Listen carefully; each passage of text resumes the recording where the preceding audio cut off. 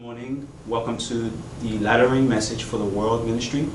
And this is um, Present Truth Series, Part 6, The Early Rain Experience. Now we're going to continue with Part A, Part 6.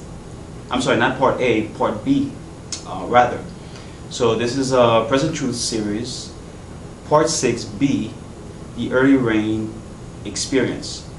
Now we're going to start with the candlesticks. Yesterday we dealt with the altar of burnt offering, the laver. Now we're going to move on to the holy place and to the sanctification experience lifestyle. So let's go to 1 John chapter 3 and verses 5 to 6. 1 John chapter 3 and verses 5 to 6. And this is what the Bible says. And ye know that he was manifested to take away our sins, and in him is no sin. Whosoever abideth in him sinneth not. Whosoever sinneth hath not seen him, neither known him. So we know that the sanctuary represents Jesus Christ, and in Christ there's no sin. If you are in Christ and Christ is in you, you sin not. The Bible says. But when you sin, you're not in Him. It's, it's plain and simple. So if you are in Christ, you don't have the desire to sin. Sin is, you have the, the enmity between God's seed and Satan's seed, or sin itself. So this is the work of the gospel. Let's go to Ephesians chapter 3 and verse 17. Ephesians chapter 3 and verse 17. The Bible says that Christ may dwell in your hearts by what? Faith. That ye being rooted and grounded in love. So for Christ to dwell in you, it has to be by faith. And this is where we get the, the message righteousness by faith. This, this, this is one of the verses. But, but this is salvation language. For Christ to dwell in your hearts, it has to be by faith and that ye being rooted and grounded in love. So to have true love, to be grounded in love, it has to be by through faith. Alright? Now when we look at the sanctuary, the holy place, everything is gold. And gold has a meaning spiritually. Alright? And we're gonna see what gold represents. Now let's go to Galatians chapter 5 and verse 6. Galatians 5 and verse 6. The Bible says, For in Jesus Christ neither circumcision availeth anything, nor uncircumcision, but faith which worketh by love.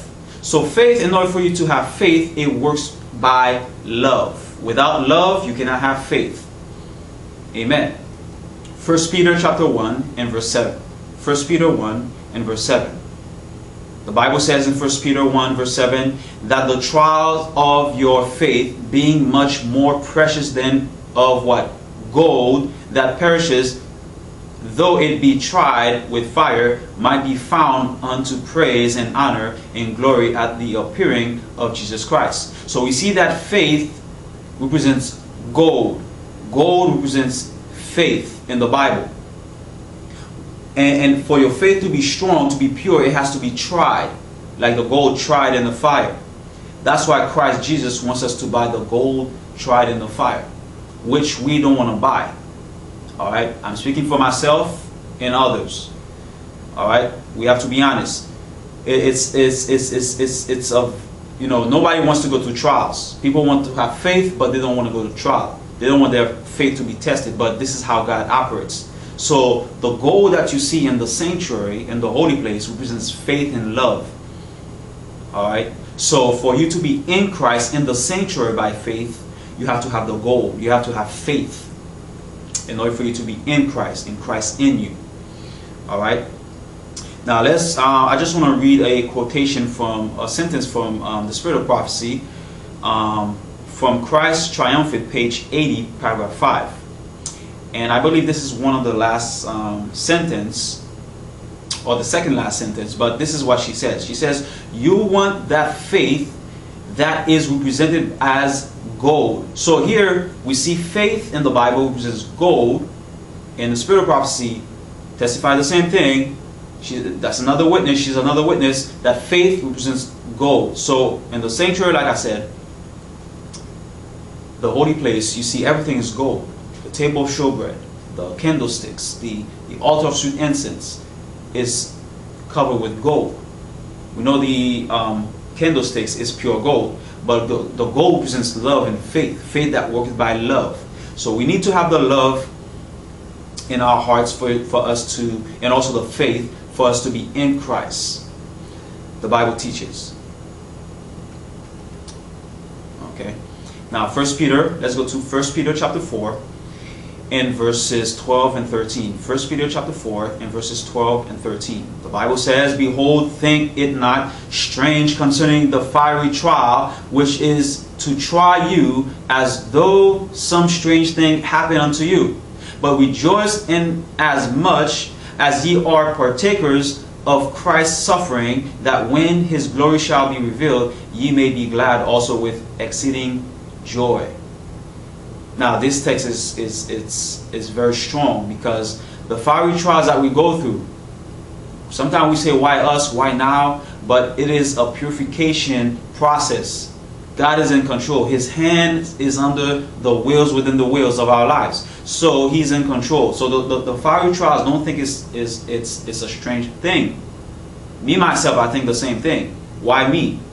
But I have to remind myself of this verse, this text to encourage myself through the Word of God.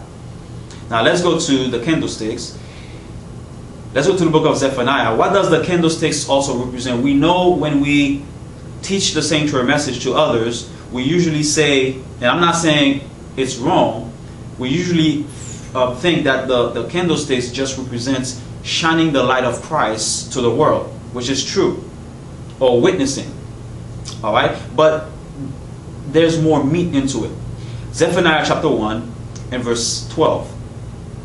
Zephaniah chapter 1 and verse 12. Because this is the lesson of, of this, uh, the, the, the, the title of this presentation is the early rain experience. We need to have this experience in order for us to receive the outpouring of the latter rain in the Sunday law crisis. Now, Zephaniah chapter 1 and verse 12, we want to know what does the candlesticks also represents in our part. And it shall come to pass at that time that I will search Jerusalem with what? Candles. And punish the men that are settled at their lease. That say in their heart, the Lord will not do good, neither will he do evil. Alright? Now, God here is going to search Jerusalem with what? Candles. Candle is, is, is, is used to search. Alright? To search Jerusalem. This is talking about judgment. God is judging. He's searching Jerusalem, God's people, to see who are worthy to be in the name in the book of the books of life and the books of damnation. So God is judging with the candlesticks. He's searching. That's what you do with candles. Let's go to the book of Proverbs, chapter 20, verse 27. Proverbs 20 and verse 27. The Bible says, The spirit of man is the what? Candle of the Lord searching all in searching all the inward parts of the belly. So the spirit of man is the candle of the Lord. So when the Lord searched Jerusalem with candles, he's searching man's heart with the spirit of man. Because the spirit of man records every single thing that we do in our lives. Either thinking and thoughts and action and words, everything. God searched man with the he searched us with a candle through the spirit of man. Let me read it again. The spirit of man is the candle of the Lord, searching all the inward parts of the belly. Amen. So the candlesticks and the sanctuary is also to search your own hearts, to search your own heart to see if you have any wickedness in your heart. Because the natural man doesn't want to search his own heart. The natural man doesn't know that he is a sinner. The carnal man doesn't know that he's wicked. All right? And this is where hypocrisy comes. Now let's go to Psalms 139 and verse 23 and 24. Psalms 139 verses 23 and 24. The Bible says, Search me, O God, and know my heart. Try me and know my thoughts, and see if there be any wicked way in me, and lead me in the way everlasting. So David says, God, search me. Because David doesn't know his own heart. Oh God, know my heart. Try me. That's how God can reveal what is in your heart by, by the fiery trials. Because in good times, everything looks perfect. But in trials, Sister White says, during crisis, that's when your character is revealed. So you see your true self, the heart. The heart. So God is going to try you to let you know what is in your heart, what is in your thought. And this is a prayer we need to pray. If we want to have the holy place experience, the early rain experience, we need to have this kind of prayer. To ask God to search our hearts and try us to see if there's any wicked way in our hearts. So we can give it to Christ. Because we don't want the natural heart. We want Christ's heart. And that's what God is asking from us. Give me your heart. Let's. Um, I just want to read another quotation from Sister White, uh, the Spirit of Prophecy. Our high calling, page 162, paragraph 6. Our high calling, page 162, paragraph 6. And she says, Let us, as Christ's followers, search our hearts as with a lighted candle to see what manner of spirit we are of. For our present and eternal good, let us criticize our actions to see how they stand in the light of the law of God. So this is an honest Christian. This is the, the, the, the Christian that is humble. That is humble and know that he or she is cold. By praying the same prayer as the publican, Lord, have mercy on me, a sinner. To, to, to ask God to search their own hearts to see if there's any wicked way. So we need to search our hearts to see if there's any wicked way in our hearts.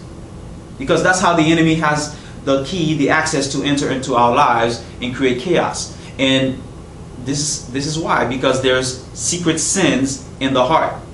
So God wants to get rid of those sins. So we need to give it to give it all to Christ. Now let's move to the table of showbread. The table of showbread. Let's go to John chapter 6 and verse 35. We already know this text. We know that Christ is the bread of life. The Bible says in verse 35, John 6, And Jesus said unto them, I am the bread of life.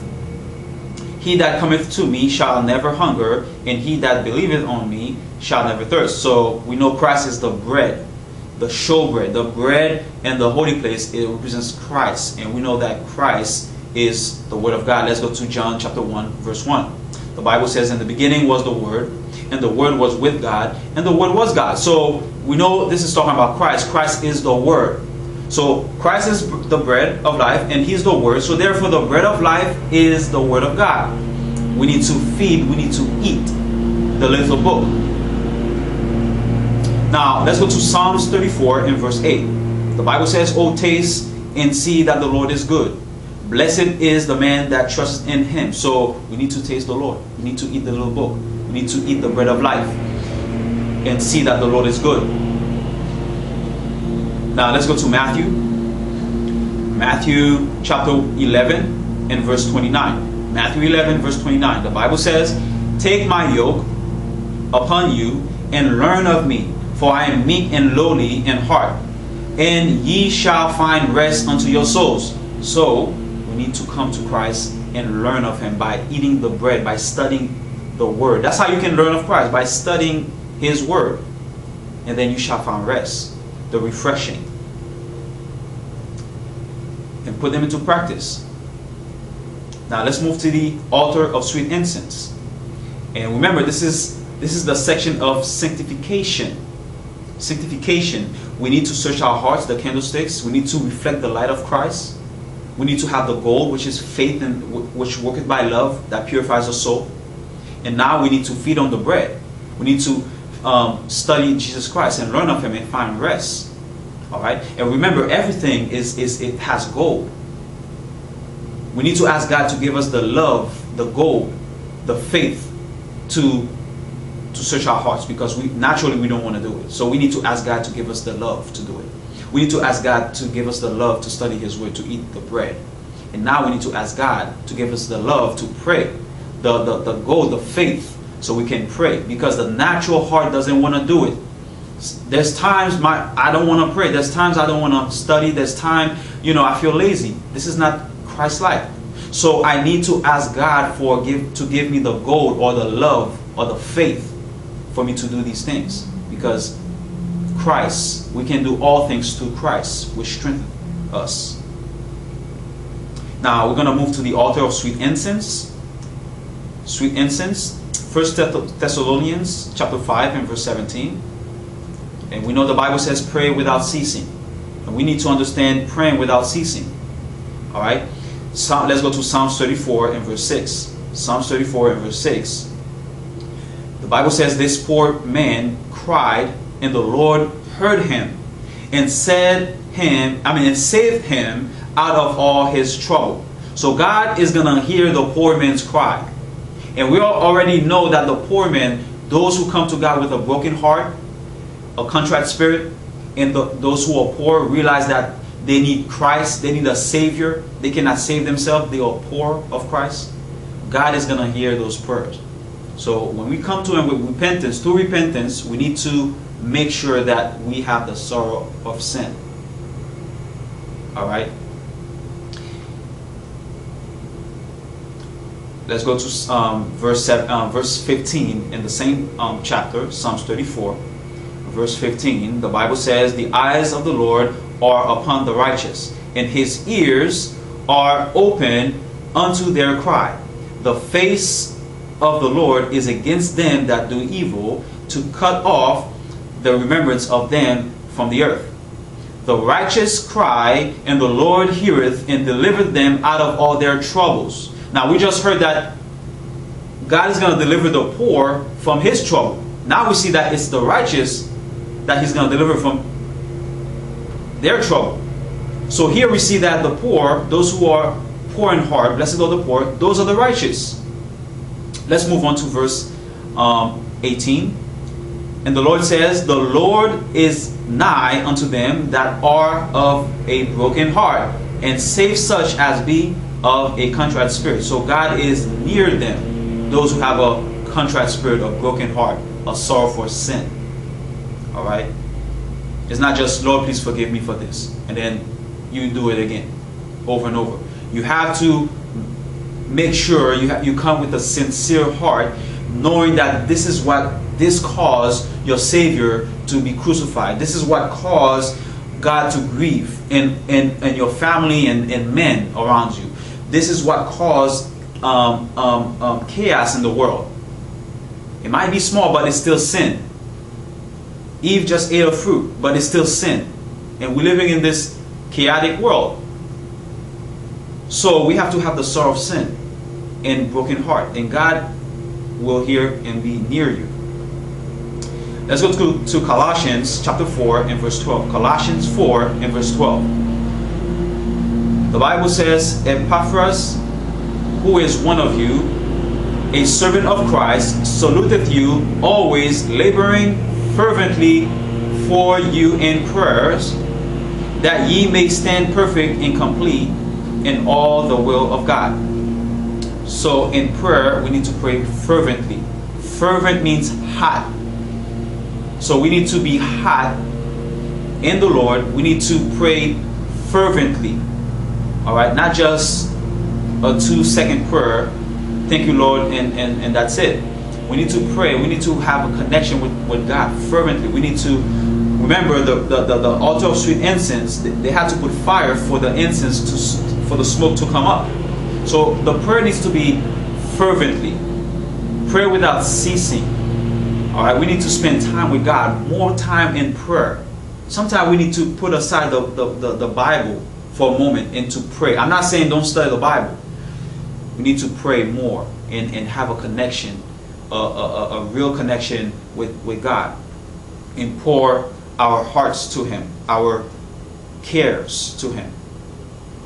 Through faith, through the goal, and by love. Now we're going to move to the most holy place experience, the most holy place, which is glorification. Glorification. And this is what God wish um, from us through Christ. Now let's go to the book of Hebrews, uh, chapter 9 and verse 4. Hebrews 9 and verse 4. We know in the most holy place you have the Ark of the Covenant, uh, which covered with the uh, golden mercy seat, and inside you have the the rod of Aaron, the um, the Ten Commandments, and the the pot that has the manna. So what does that mean? What does all these three things mean?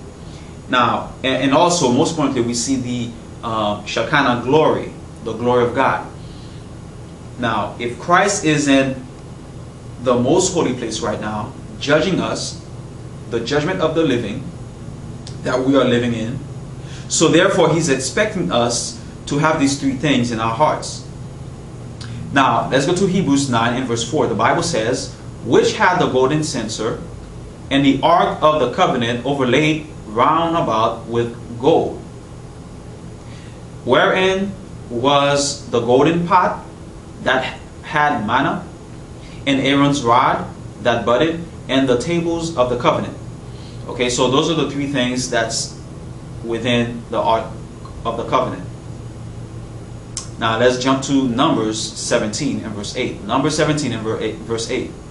And the word of God says, And it came to pass that on the morrow Moses went into the tabernacle of witness, and behold, the rod of Aaron for the house of Levi was budded, and brought forth buds, and bloomed blossoms, and yielded almonds. So the, the rod of Aaron, we see that it bud, it, it produced almonds. And what produced almonds? What, what produced the, the, the, the plant or the wood or, or the tree to bud is the rain. So this is the rain experience here. Okay, this is the rain experience. This is the latter rain experience. But before we receive the latter rain, we need to receive the early rain or the sprinkling. All right. I'm not saying we're living in the outpouring right now. I mean, I, I know most people they they they misunderstand. They thinking that we are saying that we are living in, in the latter rain um, outpouring um, time. No, we know it's in the Sunday law crisis that it start pouring.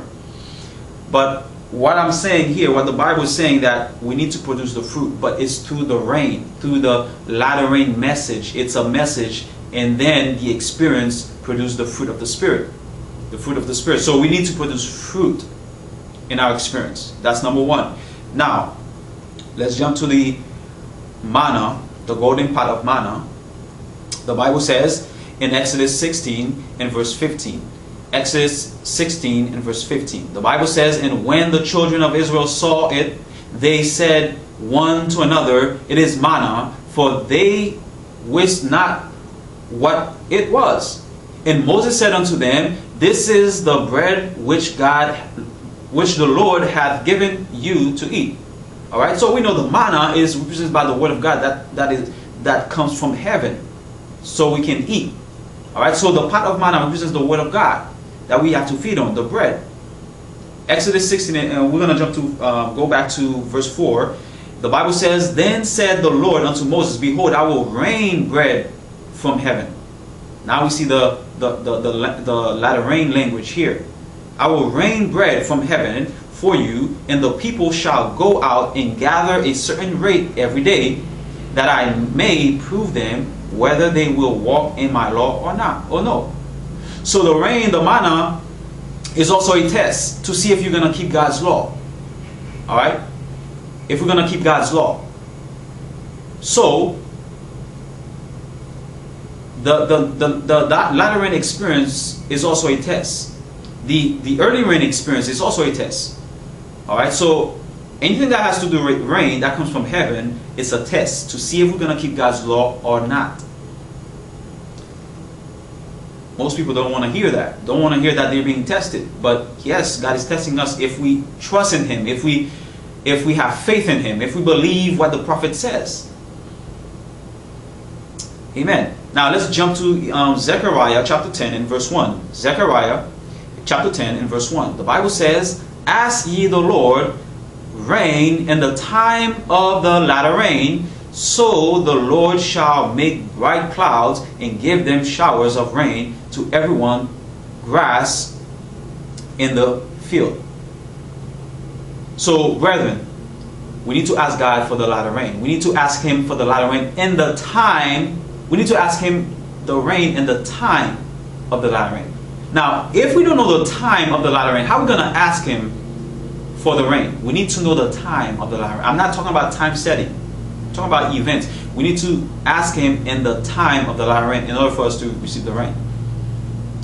So I know this is kind of harsh, but this is what the Bible says. We need to ask the Lord rain in the time of the latter rain. So when we see the time of the latter rain, then we ask Him for the rain, and God will give you the rain. So the, the manna is connected with the rain. The almond, the, the, the, the rod of Aaron represents, I mean, also connected with the rain as well. So now we're going to go to the law.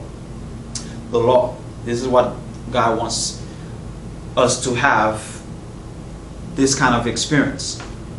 Jeremiah, let's go to Jeremiah chapter 31 and verse 33.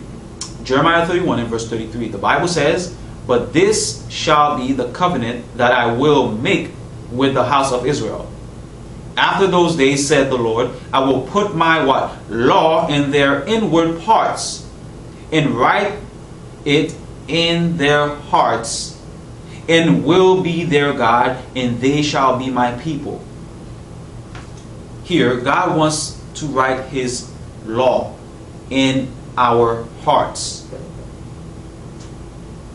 That's how Christ can dwell in your hearts. Because Christ keeps the law perfectly. We cannot keep the law perfect by our own strength. But through Christ in our hearts, Christ work within and we work without and keep the law of God. God wants us to have His law in, in our hearts. Alright? Uh, let's go to Isaiah, Isaiah 8, verse 16. Isaiah 8 and verse 16, the Bible says, Bind up the testimony, seal the law among my people, my disciples. So, God wants to seal us, but also through the law. He wants to seal the law in our mind, in our forehead, in our hearts. Now, the last verse for closing Revelation 14 and verse 12. Revelation chapter 14 and verse 12. Here is the patient of the saints here are they that keep the commandments of God and the faith of Jesus. So, we need to have the righteousness by faith experience. We need to keep the law of God, those who keep the commandments of God, and, and have also the faith of Jesus. Because through faith, we keep the law. Through faith, we have Christ in our hearts. Through faith, we enter into the sanctuary by faith we have the experience of the holy place, we have the experience of the most holy place is by faith, by the gold. That's why inside the, the, the, the sanctuary you find gold everywhere. It represents faith which worketh by love. And that's why Christ wants us to buy the gold tried in the fire because we lack of faith, we lack of love as Laodicea. So I pray that this lesson was a, was a blessing for those who are watching. And we have to remember that we cannot do anything outside of Christ. But only through faith, only through Christ, we can do all things. Amen.